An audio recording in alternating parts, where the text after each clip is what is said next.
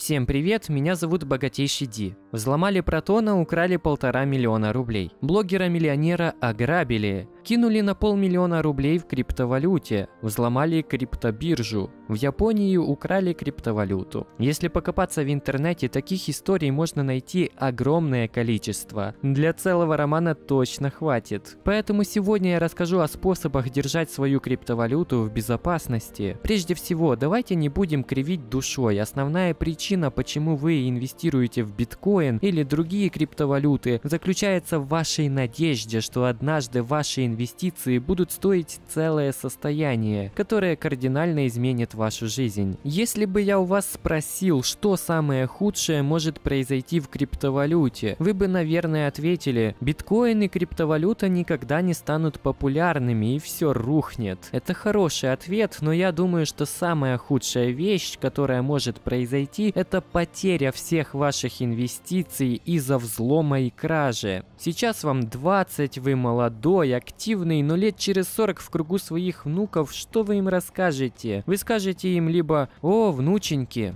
я хранил свои монеты на холодном кошельке, кого-то взломали, а меня нет, поэтому я такой богатый». Или вы скажете им «Твоя пятилетняя куртка все еще неплохо сидит на тебе, зачем тебе новая?» Давайте постараемся не стать вторым дедушкой. Прямо сейчас я публикую опрос для вас, где вы храните самую ценную криптовалюту. Большую часть стоимости моего портфеля занимает биткоин, поэтому я отвечаю, что храню биткоин на флешке. В конце видео посмотрим на результаты опроса. Начнем с самого лучшего варианта для хранения криптовалюты с моей точки зрения. В описании под каждым видео я пишу, что храню самую ценную криптовалюту на флешке флешки Ledger Nano S. Это холодный аппаратный кошелек, и я считаю, что лучше варианта просто нет. Если вы держите свою криптовалюту офлайн, то никто не сможет получить к ней доступ. Самые популярные такие кошельки это Ledger Nano S и, конечно же, Trezor One. Возможно, вы слышали о таких вещах, но до сих пор их не приобрели. Ребята, если вы задумались о покупке такого кошелька, вам нужно запомнить одну важную вещь. Ни в коем случае не покупайте их у различного рода ресурсов селлеров. Возможно, среди них и можно найти оригинальное, защищенное, безопасное устройство, но зачастую, купив у реселлера такой кошелек, вы рискуете распрощаться со своей криптовалютой. Я рекомендую заказывать такую флешку только напрямую от производителя во Франции.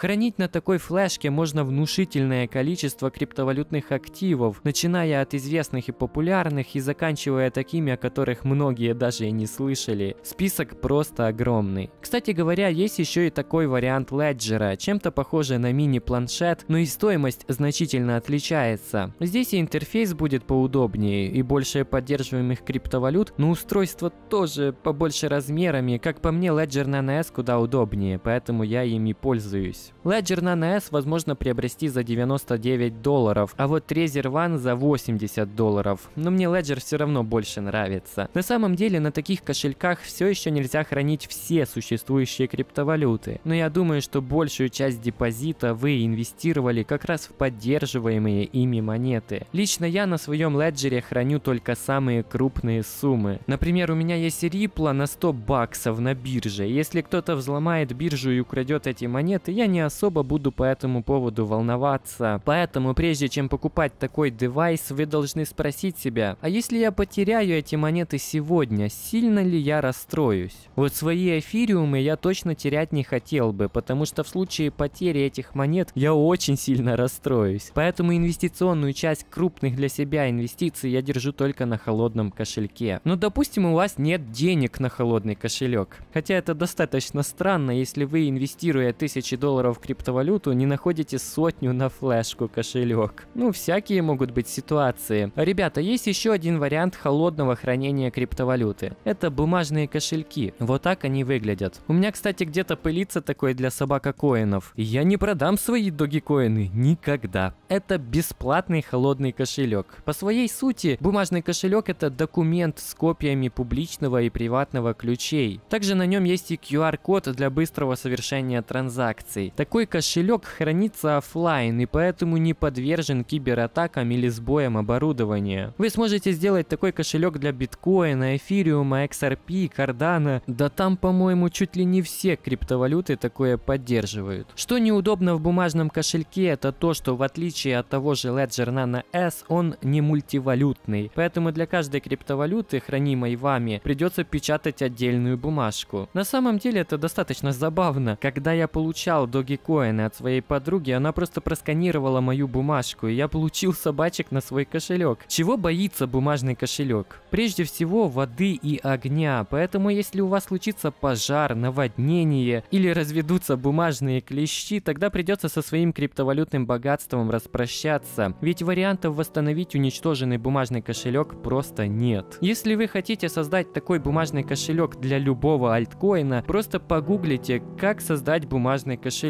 Вот, например, инструкция для биткоина.